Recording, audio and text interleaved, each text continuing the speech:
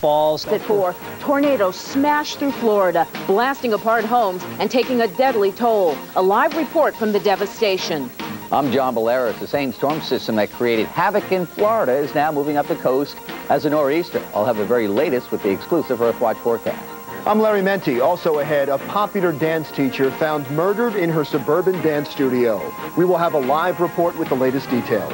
I'm Vi Sikahema. The best male tennis player in the world is in Philadelphia. We'll be talking with Pete Sampras. Plus, how to be house smart and not get ripped off when remodeling your home. News 10 First at 4 starts right now.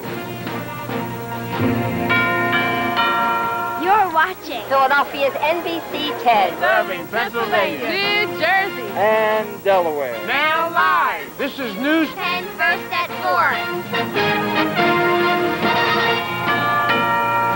I was in the kitchen one minute, next thing you know, the whole house just blew away. Shock and disbelief as killer tornadoes tear through Florida. Good afternoon, I'm Renee Chenault. And I'm Larry Mendte. Our top story on News 10 First at 4, tornado terror in Florida. At least 33 people are dead, 10 missing after El Nino driven twisters rip through the Orlando area and other parts of Florida. News 10 national correspondent Tim McNichols is live in St. Cloud, Florida with the very latest live from the scene. Tom.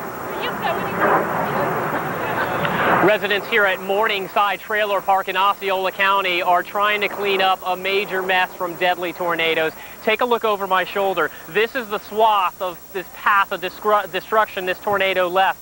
This, the tornado bounced across the county, hitting homes indiscriminately, choosing none. There was a home there, two people were killed. This home was spared. Here at this site alone, 10 people are confirmed dead, and they are still searching for two others. And this is not the only spot that was hit by these deadly tornadoes. Clearly heavy damage here. Emergency crews shuttle hundreds of injured residents to nearby hospitals. It was early morning when one tornado bounced across Osceola County and right through Ponderosa Mobile Home. This is um, pure, total devastation. You can't get no worse than this. And now we're not going to be able to get very much further in there at all. Dead were found high in trees and near roads, thrown hundreds of yards. Across town, shopping centers were leveled. Homes looked like piles of matchsticks, and semi-trucks were tossed like matchbox cars. I had four semi-trailers, and uh, it picked one of them up, a 45-footer, and just deposited it next door. I was in the kitchen one minute, next thing you know, the whole house just blew away. As the search for more bodies and survivors continues, even seasoned rescuers are stunned. The Closest I can compare this to is Hurricane Andrew when our teams went down there to assist those folks this is by far the uh, more stained since then, by far. Now we are back out live. As you can see, members of the Florida National Guard have been called in to secure this area. This is the first time this has happened in this area since Hurricane Andrew back in 1999. And sadly enough, we're here to tell you that the death toll has risen once again. We are up above 40 now. 10 at this site, 40 more, and about two dozen still missing in St. Cloud for NBC News. I'm Tom McNicholas. Now back to you. Well, Tom, you've mentioned St. Andrews a couple of times, and as you know, now the death rate is higher than it was at St. Andrews. There's no doubt this will be declared a federal disaster area. But before that money comes, what is being done for the people there? The Red Cross has come in here. Actually, we haven't reached the death part of, of, Andrew, of, Hurricane Andrew. That was 52, I believe. We are approaching that, and there's a strong possibility we may be there. But why we keep referencing Hurricane Andrew is because many of these rescue crews here in Osceola County in Central Florida were there in, in Miami. They're comparing this right on to Hurricane Andrew. They say they've seen nothing like this, and they're stunned. But the Red Cross is here, the National Guard is here, and they are all trying to do whatever they can and try to find these other people that are still missing. In St. Cloud, I'm Tom McNicholas. Back to you. So I imagine people that want to help in this area could just contribute to the Red Cross at this point. Absolutely. That might be the best way to do it right now. All right. Thank you very much, Tom. Now the powerful storm system that brought those tornadoes to Florida has become yet another nor'easter for our area. News 10 in King of Prussia this afternoon, where rain is falling as the storm continues to develop. And though not as severe as the one that ripped through the south overnight, the system is expected to bring heavy rain and strong gusty winds to our area. News 10 meteorologist John Bolaris is in the Weather Center with the very latest. John. Yeah, Renee, it's definitely El Nino driven time and time again. They develop off the Pacific coast. They get driven into the Gulf of Mexico. They rake right across uh, Florida and then begin to move up the coast. And yet, in another series of El Nino nor'easters, this is the very latest one. Let's check out the radar. Wind-driven rains for tonight. The heaviest rain just about moving in now. It's going to be wind-swept. The rain will continue between now and the heaviest rain from now until midnight. Now, there is a possibility that far to the north and west that the rain may actually change over to some uh, wet snow. We're not anticipating accumulating snow just to the north and west, but as you move up into the Poconos, you may see the rain changing to heavy snow, and I'll give you more details on that and uh, what it means to the coast as well in just a little bit. Renee and Larry? Okay, thank you, John. Stay here on News 10 for updates on this new nor'easter hitting the Delaware Valley. Well, you saw it here live for the first time, a sign from the White House that the showdown with Saddam is easing. President Clinton spoke just a few minutes ago about the agreement between the United Nations and Iraq. I hope today's agreement will prove to be the step forward we have been looking for. But the proof is in the testing. The United States remains resolved and ready to secure, by whatever means necessary, Iraq's full compliance with its commitment to destroy its weapons of mass destruction. The deal was brokered by UN Secretary General Kofi Annan. Annan is on his way back from Iraq right now. He made a brief stop in Jordan today. Annan is expected to present the agreement to the UN Security Council tomorrow. The deal calls for weapons inspections at all Iraqi sites. And we will have a live update from Washington and the very latest on the showdown with Saddam coming up in a few minutes on News 10, first at 4. Police in Montgomery County are looking for a killer after the body of a dance teacher was found in her King of Prussia studio. Investigators say Joan DeMarco was beaten to death. News 10 Sarah Schulte is live in King of Prussia with the very latest on this investigation. What can you tell us, Sarah? Well, Renee, police do not know who killed Joan DeMarco or what kind of weapon was used, but police do believe that she was a victim of a burglary. Marquis Security was not about to let anyone through its luxury apartment complex today, but over the weekend, someone did get through. Someone who killed Joan DeMarco. Police say the 66-year-old ballroom dance instructor was found dead inside her ground floor dance studio just after noon on Sunday. Mrs. DeMarco died of blunt trauma to the head, and we have reason to believe that she interrupted a burglary in progress. DeMarco lived on the third floor of this building, and for the past few years, she ran a ballroom dance studio on the ground floor. DeMarco worked two jobs. In the morning, she worked at a jewelry store at King of Prussia Mall. In the afternoon, she taught dance lessons. Her jewelry store coworkers knew something was wrong when she didn't show up at work yesterday morning. We believe she was on her way to her part-time job. Why she stopped at the dance studio at that time is unknown. Coworkers and friends describe DeMarco as outgoing, funny, and always well-dressed. They also say that recently DeMarco expressed fears, considering her studio had been hit twice by burglars before. Other instructors say DeMarco was very well known in the ballroom dance industry. She was always a very vivacious, lovely gal. I mean, very uh, positive, you know, and uh, just a lot of fun to be with. DeMarco is survived by a daughter who lives out of town, and at this point, police do not have any suspects. Live in King of Prussia, I'm Sarah Schulte, News 10. Sarah, given the fact that there, it looks like there's a security gate or right be behind you, mm-hmm. um, are, have they been able to, to provide any information in terms of who could have gotten in unannounced or?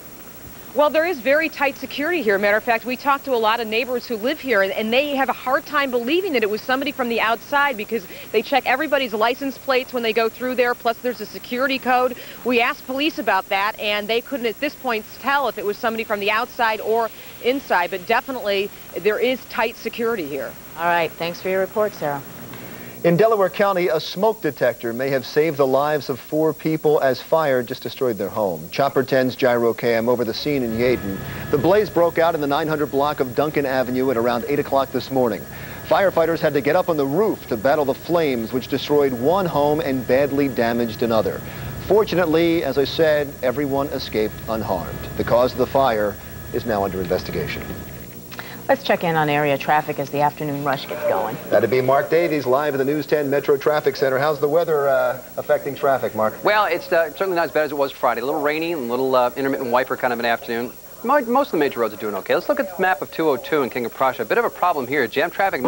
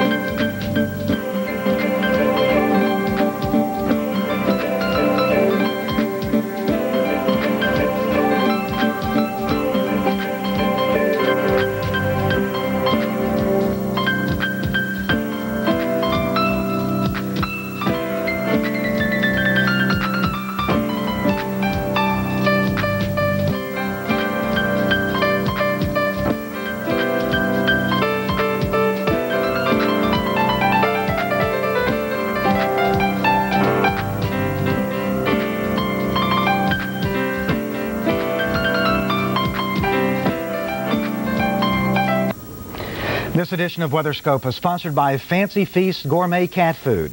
Good taste is easy to recognize.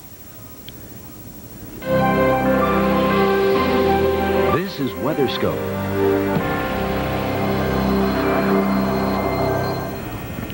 Floridians assess the aftermath from the deadliest tornado outbreak in state history.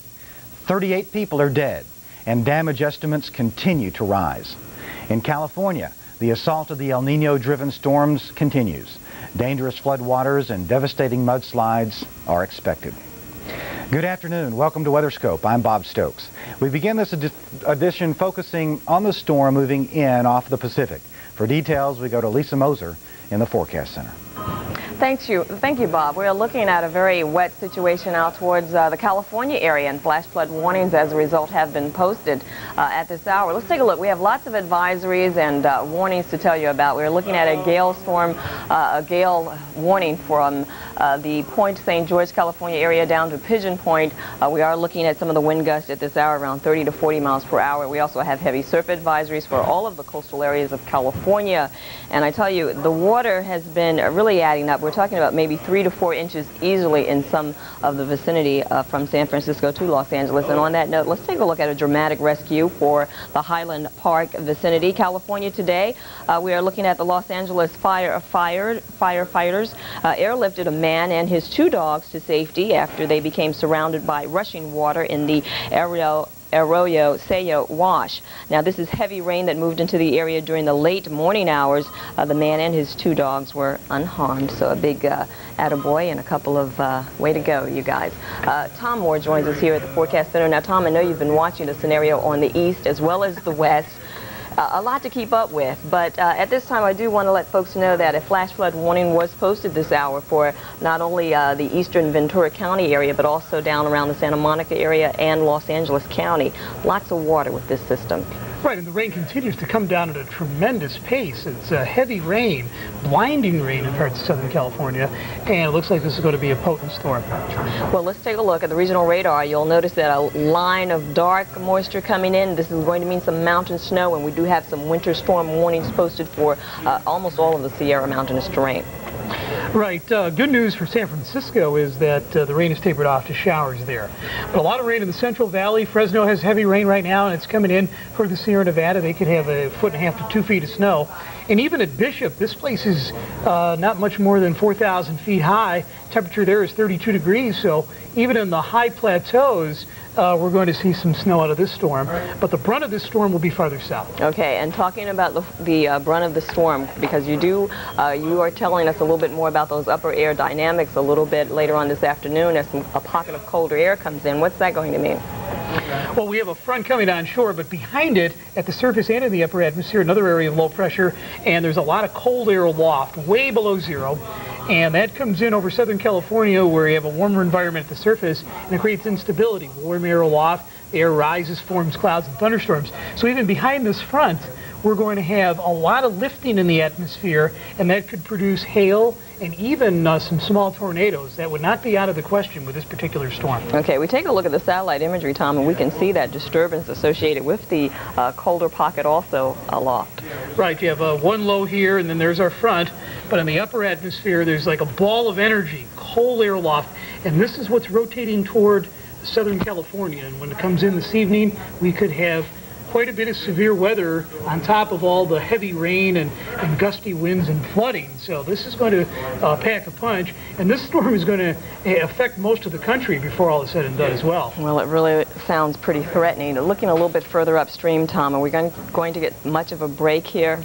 Yes, Lisa, it looks like there's going to be a little bit of a break between this, a little bit of a ridging in the atmosphere ahead of the next storm, and then eventually later in the week, this storm will come on in, but probably not dive as far south as the one that we see right now. So this is a nasty scenario that we're currently looking at. We're talking about flooding problems for the Los Angeles area right now. is definitely a snowmaker for the Sierra mountainous terrain, and you're saying that this storm will probably be affecting the rest of the country as a winter storm maker. Right, one more thing. In Southern California, the snow levels, the the level which the snow fall down to around 4,000 feet. So there's going to be snow in the higher elevations right around Los Angeles, too. Okay, so Los Angeles, we'll try and get through tonight. Uh, we certainly have the problem of the possibility of some flooding uh, as well as mudslides. Right. Okay, well, thank you. Tom Moore, a senior meteorologist here at the Forecast Center, staying on top of the situation to the east as well as the west. We have more details at this time uh, towards the east with uh, Bob Stokes in the Forecast Center, and you can always check out weather.com for all the details on both the east and the west coast. Bob? Thanks a lot, Lisa. Well, deadly tornadoes ripped through the state of Florida last night. This afternoon, the same storm system barrels up the eastern seaboard. While the storm has moved out of Florida, residents will be feeling its impact for some time. Now, these are scenes from central Florida where tornadoes tore a swath of destruction across Osceola, Seminole, Orange, and Volusia counties last night. As you can see, the damage is massive. At least 38 people were killed. That's an updated number. Dozens are missing and 55 unaccounted for. Hundreds of homes and businesses were destroyed. The state's biggest tourist attractions, Disney World, Universal Studios, and SeaWorld, were spared. That's some good news out of all this.